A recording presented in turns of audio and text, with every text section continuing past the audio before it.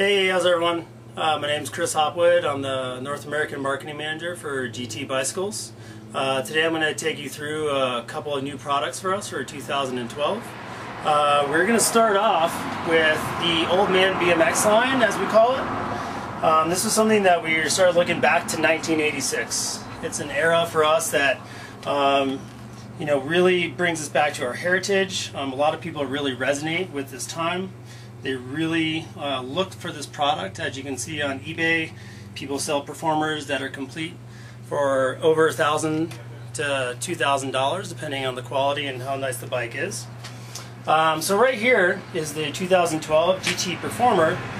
Obviously, the biggest thing that you notice is that it has 26 inch wheels. Um, we still make a bike with 20 inch uh, for the guys that want to go rip it in the park. Um, but what we wanted to do is make a plan a bike that was something a little bit more than just a street BMX bike. We wanted to make something that could be used as a commuter, a fun bike. You can jump it off curbs, kind of your super commuter, and it has a lot more style than your average 700C bike. Um, just like you notice, um, chrome frame, um, that was asked by a lot of people to bring that back. Um, we have the graphic hits, very, very similar to what you saw in 1986 as well as uh, color matched rims, hubs, um, and all the other little bits. Um, overall, the frame is very traditional as far as the look. It was just expanded to be a 26 inch model. Um, extremely fast, very fun, um, and has some really you know durability pieces that will allow you so that you actually can use it for urban use. Uh, from there, we have the Interceptor, and the Interceptor uh, was bikes hails from the same exact era. Um, but what we did with this product was instead of making a full-on uh, urban bike, we set it up so that it was uh, a little bit more durable. We achieved that through the frame. So it has a 100% chromoly tube uh, frame set, as well as uh, integrated headset, very similar to what you see on pretty much any uh, freestyle BMX bike today. Um, as well as we put in a standard bottom bracket, three-piece crank, um, machined uh, chain wheel, as well as nicer seat post and saddle, and then all the other graphic packages to match to match the era for the bike. Uh, in front of me we have a brand new product for us. Um, this is the 2012 Zaskar 100. Um, just as the Zaskar name has basically been our heritage bike it's been the bike that's won a downhill as far as a hardtail, uh, but we wanted to kind of use that name to indicate what was our cross country and race product.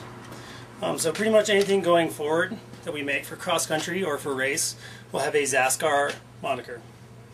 Um, what you're going to notice first of all is that the bike looks similar to a marathon, but that's far from true. Um, that was the exact bike that we were designing to replace this with or replace that bike with.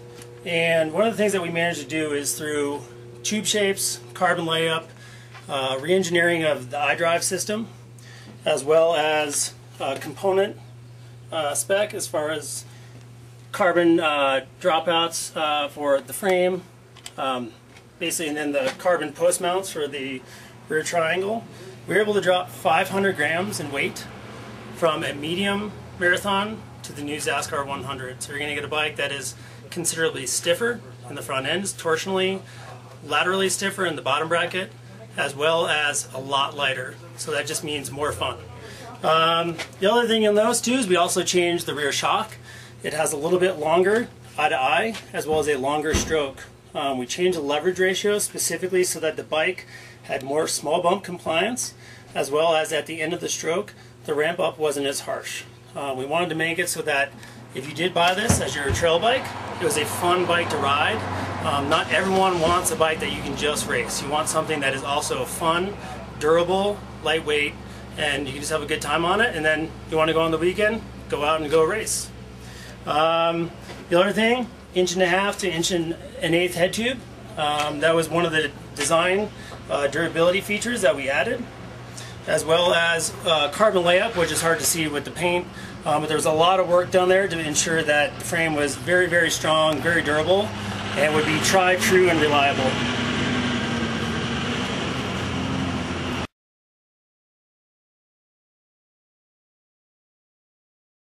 Okay, so um, as I was saying, how we kind of uh, redid the uh, the iDrive system for this bike specifically compared to the Marathon. What we did is we got actually got rid of the flex plate, which had a finite lifespan. We added the carbon eye-link there, or dog bone. Um, just a lot more durable, a lot stiffer. It actually does help the rear end as far as lateral stiffness. Um, and then what we also did as well is redesign the whole rear end so it's one piece um, and then put all the pivots in line with each other. So everything is really, really low, low center of gravity, very stiff, um, and we probably have one of the simplest, most durable pivot systems on the market. The bearings that are in here are the exact same bearings that you have in the top part of your 1 and 1 8 headset. They're just a 45 degree headset bearing. You can buy them at any shop, including BMX shops. Put those babies in, tighten that down with a 6 and 8 mil to where you get the tension correct. 4 mil pinches it off. Don't have to worry about it. Very, very simple, try true, reliable.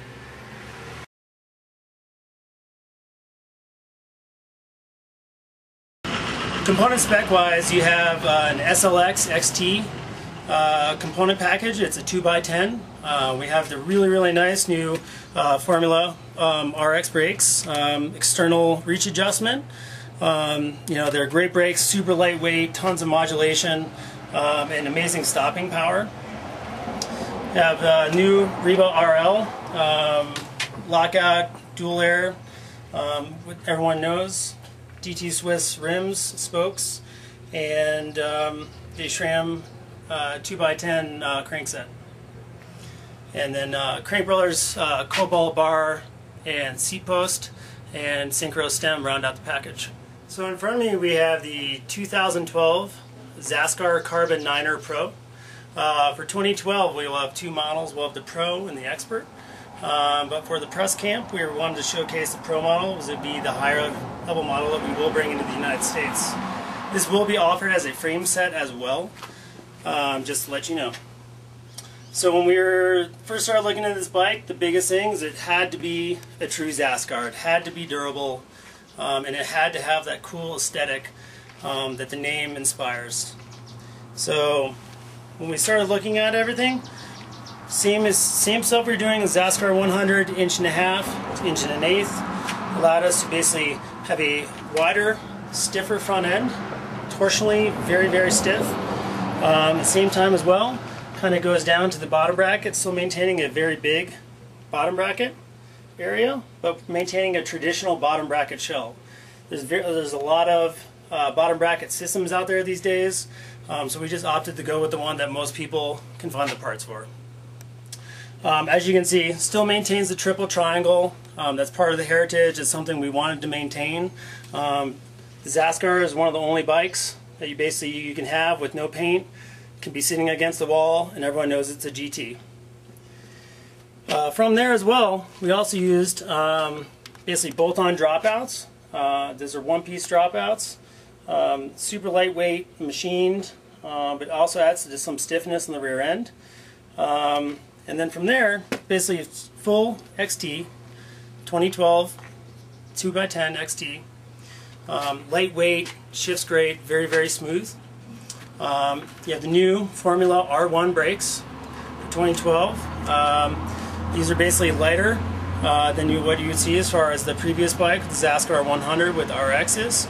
Um, just a lighter system, still just as much power, great modulation, very, very reliable. Then the other nice new part about the bike as well is the 2012 SID 29er um, this is a fork I know a lot of people have been looking forward to seeing. Um, it's going to bring the weight down on your fork compared to what else has been out there available from RockShox. Um, still air sprung. Has a lockout as well as the gated blow off control. Rebound adjustment is underneath. Um, it's 100 mil of travel. It's going to be something that also allows you, since it has a 15 mil through axle, there's plenty of wheel systems out there that are available. Uh, but it will also stiffen up the fork. What we chose for wheels are with M1800 uh, DT Swiss uh, wheel set, uh, and that is their all-mountain 29er wheel set. We could expect something a little bit lighter, would increase the price of the, the bike, but at the same time, for all those of you that are just having a bike to ride, what you're going to see is a rim that has a wider profile. Allows you so that even these are 2.1 tires, they sit in a more correct position. Um, same, you can run up to a 2.3, 2.4, but you're starting to see that in the 29er uh, tire range these days, and it's going to allow the tire to actually sit correctly and actually perform correctly instead of being really pinched in uh, on the rim.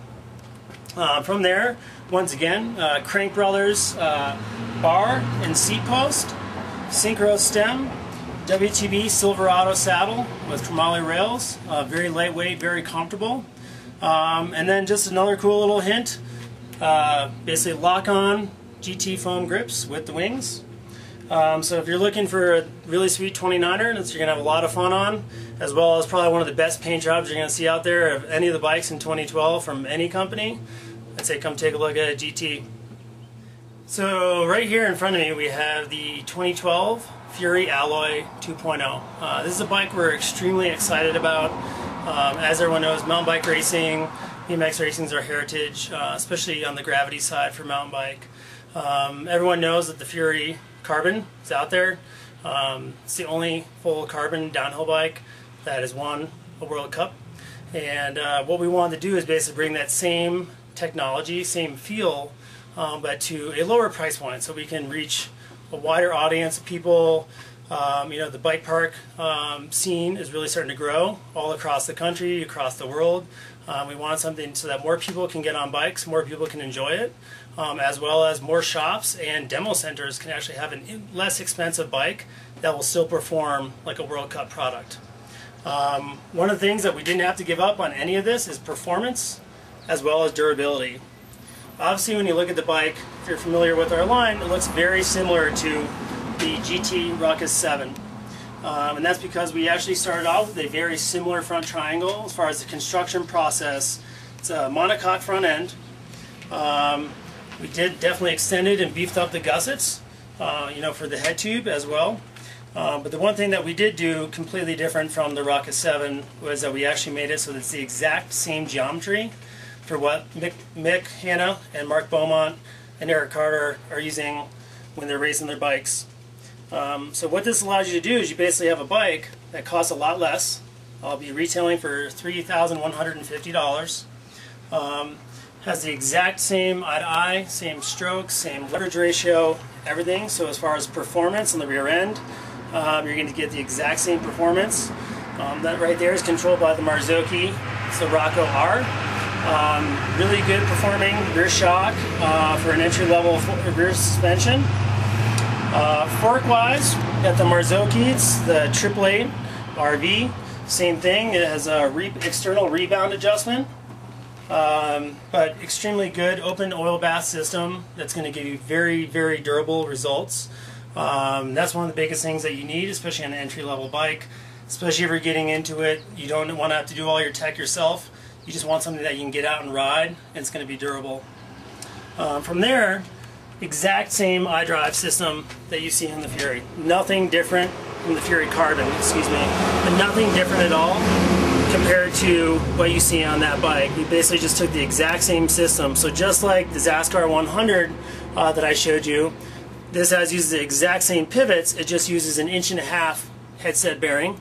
Same thing, controlled basically by pivot tension, so you dial that in until it gets where you want it to be, tighten down the pinch bolts, and then your suspension rear pivots are set. Um, besides that, we have other components to round out the spec. Um, basically, we use some Avid Elixir 3 brakes, um, and then the SRAM X5 uh, rear derailleur and shifter. Um, from there, basically everything else, we just have a good wheel set. It's going to be durable. Um, and then you also get Minion DH, DHFs uh, with the 3C compounds. So going to be very, very good tires, which is one of the most important things on a downhill bike. Um, and then uh, SDG saddle and seat post. So it can be durable, especially if you dump it. Um, the SDG stuff is very, very durable uh, with the I-beam rail setup. And um, but this bike we're very excited for everyone to test ride. So look for uh, the GT demo trucks out there, and look for our test centers at Highland, Angelfire, and Les Deux Alpes if you're in France. And that's what we have for GT bicycles for 2012 at the Lifeboat Press Camp.